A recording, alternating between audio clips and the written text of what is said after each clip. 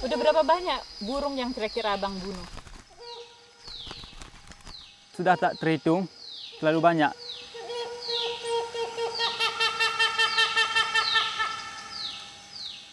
Lebih ratusan. Ya mungkin.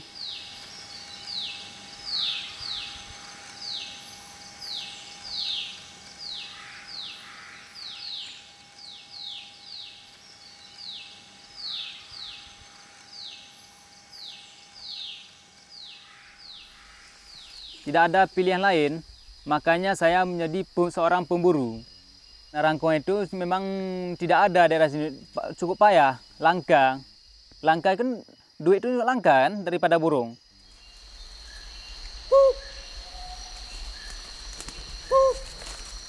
Setelah itu berjumpa sama orang Padang, dia yang bagusnya kayak gini caranya mencari uang bilangnya kan.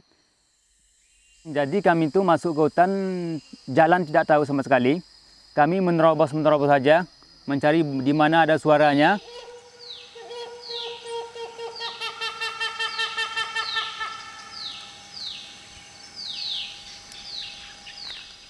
Sekian lamanya saya memburu, pas di suatu tempat, burung itu nggak jauh dari pohon. Pas empat kali tembak, belum belum mati.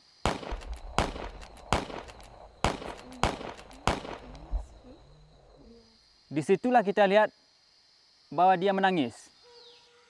Pak dia mengenal air, air mata kesedih. Belum mati. Di situ timbullah kesadaran kita. Betapa sayangnya. kan?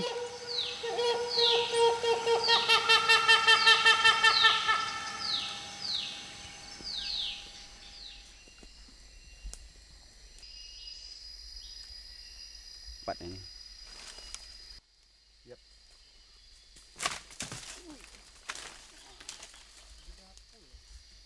Sekarang sudah berubah. Seandainya masuk orang luar, bisa-bisa saya yang menangkap mereka.